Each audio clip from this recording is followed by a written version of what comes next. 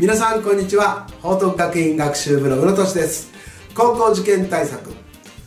中学英語基礎ミニテスト。今回は穴埋め問題を3問やります。日本語に合うように空所に単語を入れましょう。1番ところで質問があります。3つ空所があって I have a question I have a question ってありますね。I have a question は質問がありますという意味ですから前の3つでところでとなるように単語を並べます。2番ついに私たちはその仕事を終えた。空所が2つあって We finished the work. 私たちはその仕事を終えたという文が後ろに来ているのでついにこうなるように単語を入れます。3番ある日彼はその歌を聴いた、空欄が2つあって He heard the song. He heard the song. 彼はその歌を聴いたとあるのである日となるように単語を並べればいいわけです。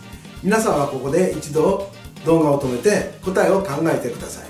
答えが分かったらもう一度動画を再生して正解を確かめましょう。正解はこうなります。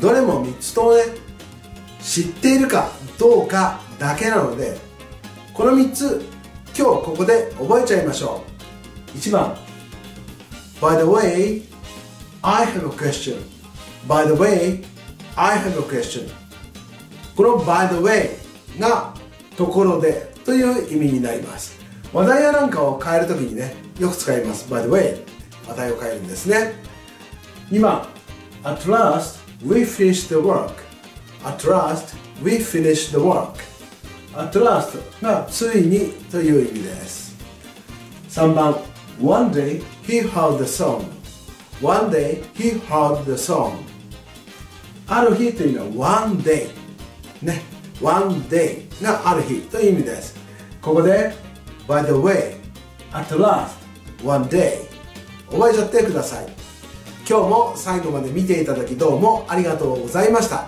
ではまたお会いしましょう。さようなら。